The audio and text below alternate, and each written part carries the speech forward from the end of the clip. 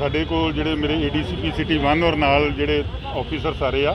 ਅਸੀਂ ਅੱਜ ਇਧਰੋਂ ਹਾਲ ਗੇਟ ਤੋਂ ਲੈ ਕੇ ਸਾਡੇ ਦਰਬਾਰ ਸਾਹਿਬ ਦੇ ਆਲੇ ਦੁਆਲੇ ਪ੍ਰੋਪਰ ਸਾਰੀ ਫੁੱਟ ਪੈਟਰੋਲਿੰਗ ਕਰ ਰਹੇ ਆ ਔਰ ਉਹਦੇ ਵਿੱਚ ਖਾਸ ਕਰ ਜਿਹੜੇ ਕੋਈ ਏਰੀਆ ਦੇ ਵਿੱਚ ਕੋਈ ਕਿਰਾਏਦਾਰ ਜਾਂ ਕੋਈ ਹੋਰ ਜਿਹੜੇ ਕੋਈ ਸ਼ੱਕੀ ਵਿਅਕਤੀ ਆ,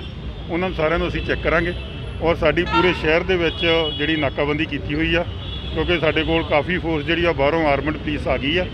ਜਿਹਦੇ ਵਿੱਚ ਅਸੀਂ ਸ਼ਹਿਰ ਦੇ ਵਿੱਚ ਅਲੱਗ-ਅਲੱਗ ਤਰ੍ਹਾਂ ਦੇ, ਅਲੱਗ-ਅਲੱਗ ਪਿੰਡਾਂ ਦੇ ਜਿਹੜੇ ਨਾਕੇ, ਕੋਈ ਕਰੀਬ ਸਾਡਾ ਕੋਈ ਜਿਹੜਾ ਆ, ਕੋਈ 5000 ਬੰਦਾ ਜਿਹੜਾ ਇਸ ਟਾਈਮ ਜਿਹੜਾ ਕੰਮ ਕਰ ਰਿਹਾ ਸ਼ਹਿਰ 'ਚ। ਔਰ ਇਹ ਜਿਹੜੀਆਂ ਟੀਮਾਂ ਜਿਹੜੀਆਂ ਸਾਡੇ ਕੋਲ ਹੁਣ ਆਈਆਂ, ਕਮਾਂਡੋ ਦੀਆਂ ਟੀਮਾਂ ਤੁਸੀਂ ਦੇਖਿਆ,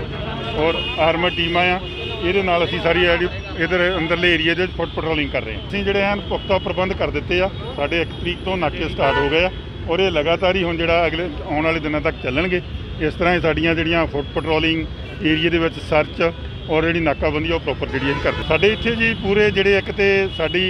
ਅੰਮ੍ਰਿਤਸਰ ਪੁਲਿਸ ਤੋਂ ਇਲਾਵਾ ਜਿਹੜੇ ਸਾਡੇ ਇੱਥੇ ਬਾਰਡਰ ਰੇਂਜ ਆ ਬਾਰਡਰ ਰੇਂਜ ਦੇ ਔਰ ਉਸ ਤੋਂ ਇਲਾਵਾ ਫਿਰ ਜਲੰਧਰ ਤੋਂ ਜਿਹੜੀ ਆ ਆਰਮਡ ਪੁਲਿਸ ਆ, ਉਹ ਸਾਡੇ ਕੋਲ ਆ ਗਈ।